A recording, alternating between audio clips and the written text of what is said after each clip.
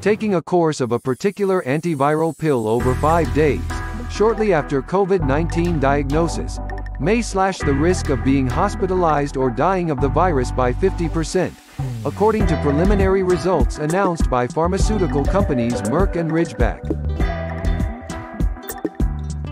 Please subscribe to the channel to receive the updated news.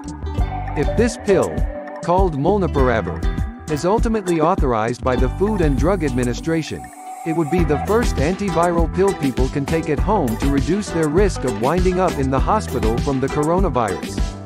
The medication would require a prescription and likely be for people with mild or moderate symptoms of COVID-19.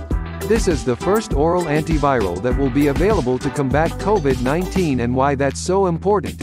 If you think of it if you're someone who is unfortunate enough to get the news that you've contracted COVID-19. This is the pill.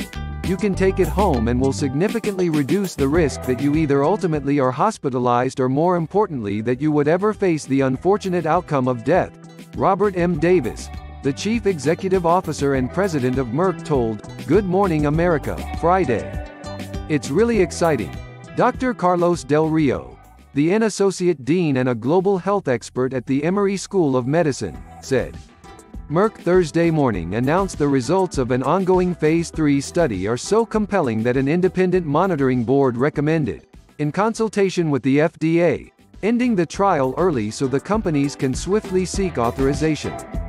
The full set of data would become available to the public at that time.